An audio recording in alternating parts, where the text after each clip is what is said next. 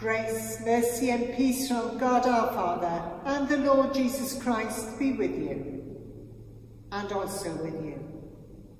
A very warm welcome to this service on Trinity 17. For news about the life of the cathedral, please do go to our website and to the news blog where you will find our weekly e-news. Almighty God, to whom all hearts are open, all desires known, and from whom no secrets are hidden, cleanse the thoughts of our hearts by the inspiration of your Holy Spirit, that we may perfectly love you and worthily magnify your holy name, through Christ our Lord. Amen. Jesus said, before you offer your gift, go and be reconciled as brothers and sisters in God's family. We come together to ask our Father for forgiveness. Father eternal, giver of light and grace, we have sinned against you and against our neighbour, in what we have thought, in what we have said and done, through ignorance, through weakness, through our own deliberate fault. We have wounded your love and marred your image in us. We are sorry and ashamed and repent of all our sins. For the sake of your Son, Jesus Christ, who died for us, forgive us all that is past and lead us out from darkness to walk as children of light. Amen. Almighty God, who forgives all who truly repent, have mercy upon you, pardon and deliver you from all your sins, confirm and strengthen you in all goodness, and keep you in life eternal. Through Jesus Christ our Lord. Amen. Glory to God in the highest, and peace to his people on earth.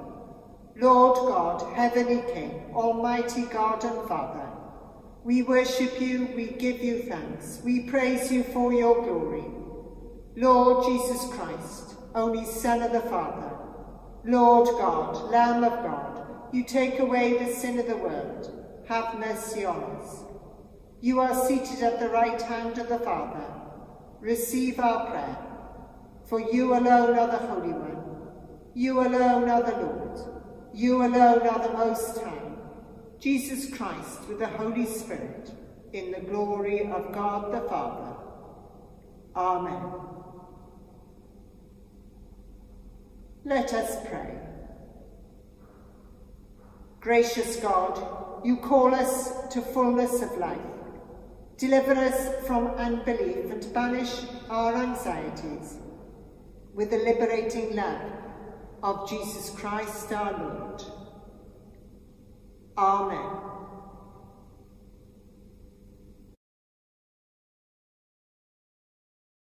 A reading from the book of the prophet Isaiah. Let me sing for my beloved, my love song concerning his vineyard. My beloved had a vineyard on a very fertile hill.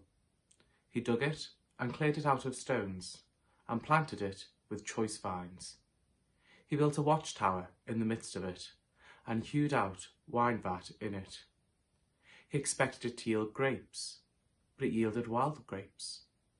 And now, inhabitants of Jerusalem and people of Judah, judge between me and my vineyard. What more was there to do for my vineyard that I have not done in it? When I expected it to yield grapes, why did it yield wild grapes? And now I will tell you what I will do with my vineyard. I will remove its hedge, and it shall be devoured. I will break down its walls, and it shall be trampled down. I will make it a waste. It shall not be pruned or hoed, and it shall be overgrown with briers and thorns. I will also command the clouds that they rain no rain upon it. For the vineyard of the Lord of hosts is the house of Israel, and the people of Judah are his pleasant planting. He expected justice, but saw bloodshed, righteousness, but heard a cry. This is the word of the Lord. Thanks be to God.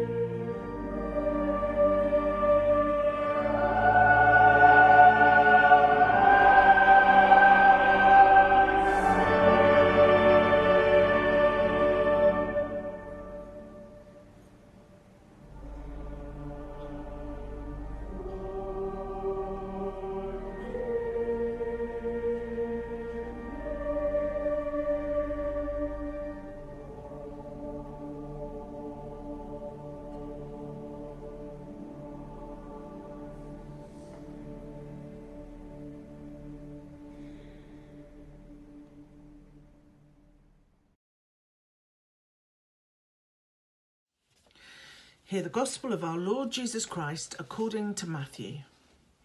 Glory to you, O Lord. Jesus said to the chief priests and the elders of the people, Listen to another parable. There was a landowner who planted a vineyard, put a fence around it, dug a wine press in it, and built a watchtower. Then he leased it to tenants and went to another country. When the harvest time had come, he sent his slaves to the tenants to collect his produce. But the tenants seized his slaves and beat one, killed another, and stoned another. Again, he sent other slaves, more than the first, and they treated them in the same way. Finally, he sent his son to them, saying, They will respect my son. But when the tenants saw the son, they said to themselves, This is the heir. Come, let us kill him and get his inheritance. So they seized him, threw him out of the vineyard, and killed him. Now, when the owner of the vineyard comes, what will he do to these tenants? They said to him, He will put those wretches to a miserable death and lease the vineyard to other tenants who will give him produce at harvest time. Jesus said to them, Have you never read the scriptures? The stone the builders rejected has become the cornerstone.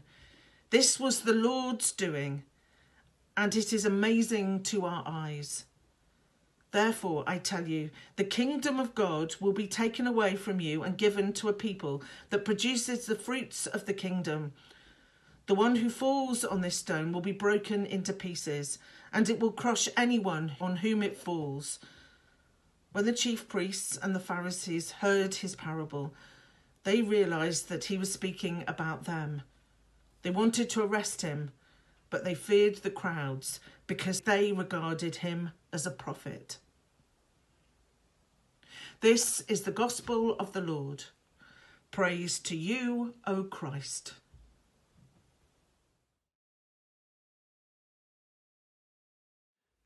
May I speak now in the name of God, Father, Son, and Holy Spirit. Jesus is the reason. I love these olive wood handheld crosses. I've had them for years to give to individuals when I visit at home or in hospital, or just an encounter here in the cathedral. Canon Neil and I now have a store of them on our desk to give to people when the moment arises. They help me hold on to Jesus in the difficult times. I love the fact that since they are wood, everyone is different, unique, distinctive, just like you and I. They remind me that Jesus is the reason for so many things. In our gospel today, we hear again that Jesus is the reason. In fact, Jesus is the reason Matthew wrote his account of the solid rock in the centre of our lives, the stone the builders rejected, which became the keystone, the cornerstone. Some scholars unpack the parable in this way that it is an allegory. It has an underlying meaning, something more beneath the surface. This doesn't mean that it's not true to life. Many of us will have known or have heard similar stories ourselves, recognizing this behavior in the world around us, behavior which stems from greed and dishonesty. Here, the underlying meaning is that of God's encounters with humanity through Israel and its people. For the vineyard represents Israel, the tenant farmers, the leaders, and the landowner, God. The servants sent and rejected represent the prophets, before finally the sending and rejection of the Son is indeed just that the rejection of God's own Son, Jesus Christ. But there is hope, for the new tenants are offered the land to produce good fruit from God's own creation. The church springs forth to cultivate the land and bring forth the harvest. But the action of the landowner isn't rejection of the Jews. It is the Jewish leaders who are the problem, with whom the conflict is held, not Jews or Judaism. Judgment comes to those in charge, refusing to believe their own eyes that Jesus is the Messiah, the Son of God. the stone rejected, which became the cornerstone, that Jesus indeed is the reason. One thing that I've found remarkable in our short, precious conversations since the cathedral reopened is how much the cathedral and its community means to you. How important and valued were the efforts made by all of us to stay connected to what we know and love. Appreciation of the reflections and recordings, the online worship, the prayers from choristers, the images of peace. How much people miss simply being here, worshipping together as a community, hearing the organ, the music, the cantors, the choir in its many different forms. Some might say that perhaps we are missing the point, that we are concentrating too much on the material things, the building, and the things within and out with it, rather than God and Jesus. I would wholeheartedly disagree, for Jesus is at the heart of all that draws us, pulls us, binds us together in community. Jesus is the reason we have a cathedral at all, a place of encounter with God, each other, and his Son, the Messiah. Jesus is the reason the music is written and performed. The choir sings the office and the Eucharist, that we are uplifted, transported, and transformed just hearing it. Jesus is the reason we come together in different groups now in the ways allowed within the cathedral, or through the online initiatives which sprung out of the lockdown. Jesus is the reason that we hold people pastorally in our thoughts and prayers, in our outreach to the needy, those still at home, anxious and worried, those unwell in hospital. Jesus is the reason that many within our community started contacting and supporting each other through the crisis. Jesus is the reason why, no matter what the situation throws at us next, we will continue as a community of Christ.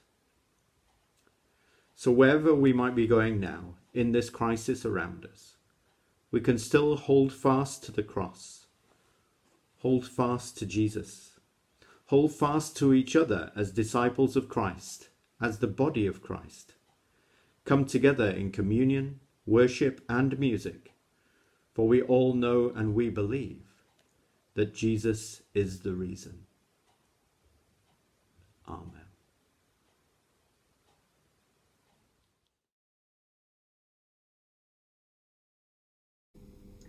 Let us affirm our faith in Jesus Christ, the Son of God. Though he was divine, he did not cling to equality with God, but made himself nothing, taking the form of a slave. He was born in human likeness. He humbled himself and was obedient to death, even the death of the cross. Therefore God has raised him on high and given him the name above every name, that at the name of Jesus every knee should bow and every voice proclaim that Jesus Christ is Lord, to the glory of God the Father. Amen.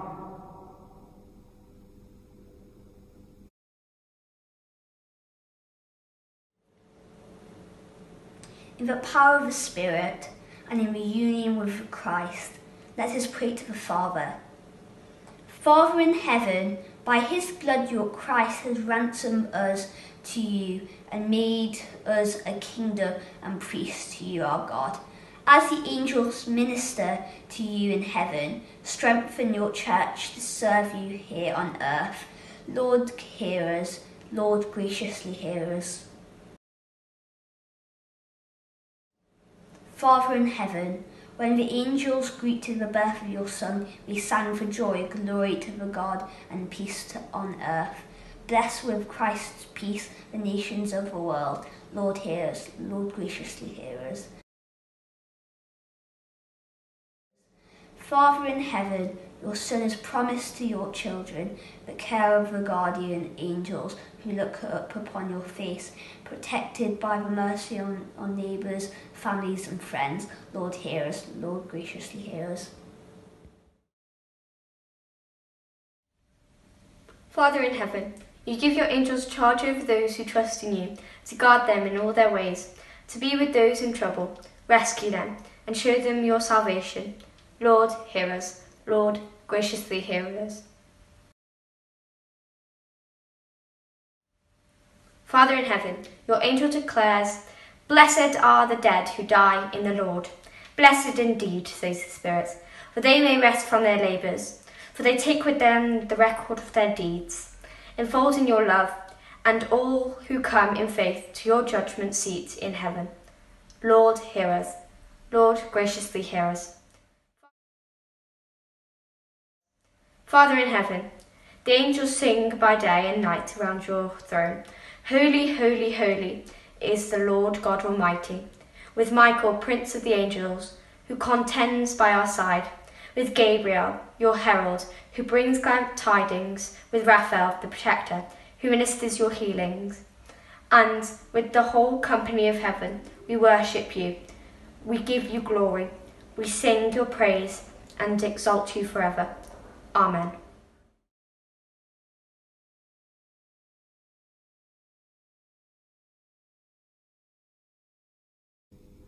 God is love, and those who live in love live in God, and God lives in them. The peace of the Lord be always with you, and also with you.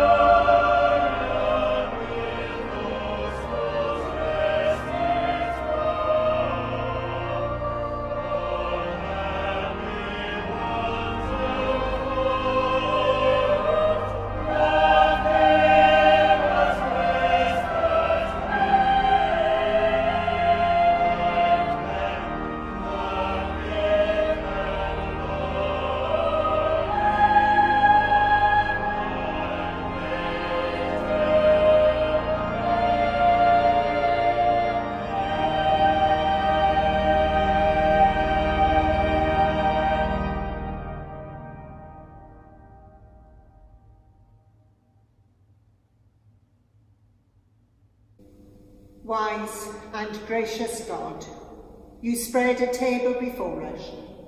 Nourish your people with the word of life and the bread of heaven. Amen. The Lord be with you and also with you. Lift up your hearts. We lift them to the Lord. Let us give thanks to the Lord our God. It is right to give thanks and praise. Father, you made the world and love your creation. You gave your Son, Jesus Christ, to be our Saviour. His dying and rising have set us free from sin and death. And so we gladly thank you, with saints and angels, praising you and saying, Holy, holy, holy, Lord God of power and might, heaven and earth are full of your glory. Hosanna in the highest. Blessed is he who comes in the name of the Lord. Hosanna in the highest. We praise and bless you, loving Father, through Jesus Christ our Lord, and as we obey his command, send your Holy Spirit, that broken bread and wine outpoured may be for us the body and blood of our dear Son. On the night before he died, he had supper with his friends, and taking bread, he praised you. He broke the bread, gave it to them and said, Take, eat, this is my body which is given for you. Do this in remembrance of me.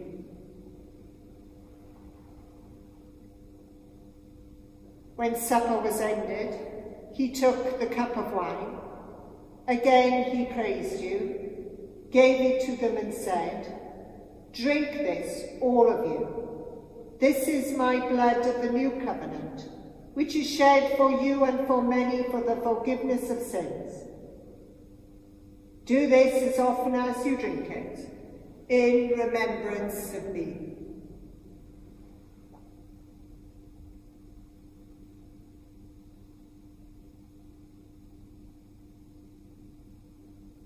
So, Father, we remember all that Jesus did.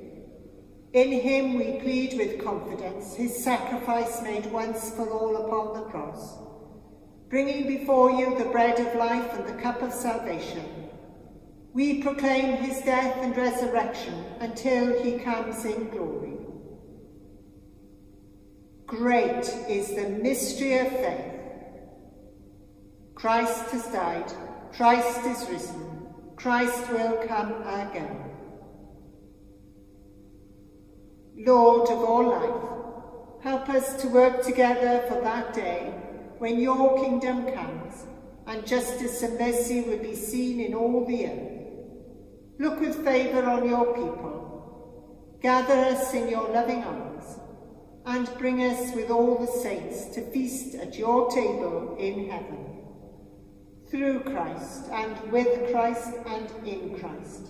In the unity of the Holy Spirit, all honour and glory be yours, O loving Father, for ever and ever. Amen.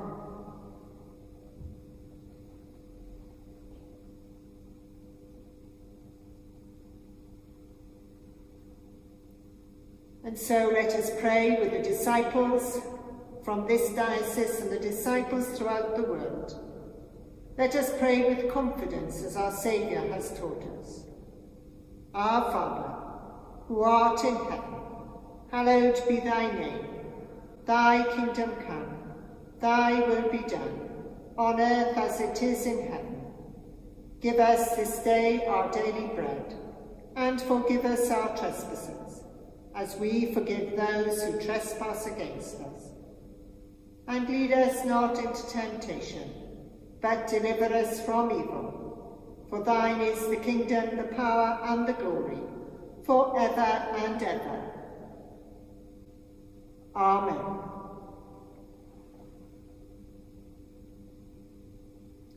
we break this bread to share in the body of Christ. Though we are many, we are one body because we all share in one bread. Jesus is the Lamb of God who takes away the sin of the world. Blessed are those who are called to his supper. Lord, I am not worthy to receive you, but only say the word, and I shall be healed.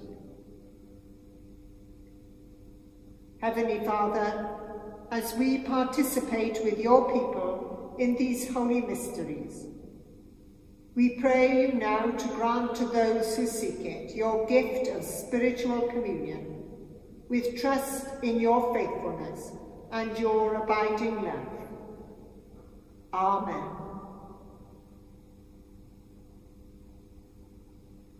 The body of Christ. Amen. The blood of Christ. Amen.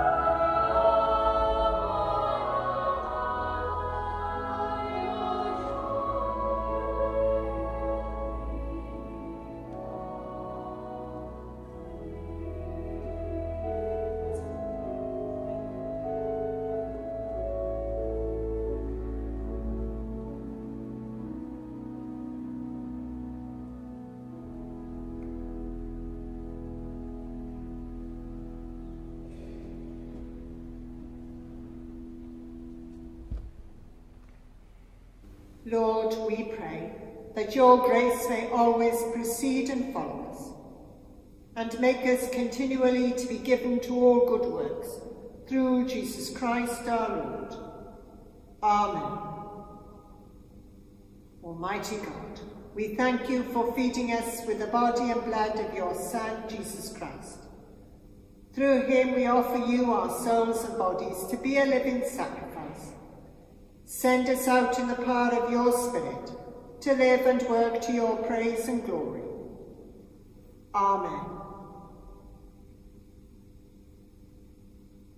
The peace of God, which passes all understanding, keep your hearts and minds in the knowledge and love of God and of his Son, Jesus Christ our Lord, and the blessing of God Almighty, the Father, the Son, and the Holy Spirit, be among you and remain with you always. Amen. Go in peace to love and serve the Lord. In the name of Christ. Amen.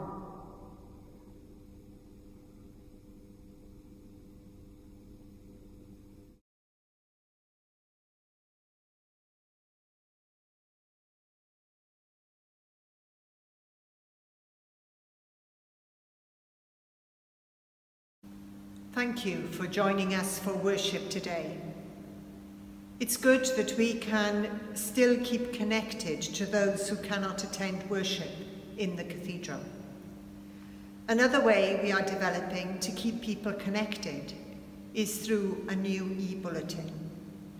From the 18th of September, under the news and blog section on the main web page, there will be all the information you need about the life of the cathedral.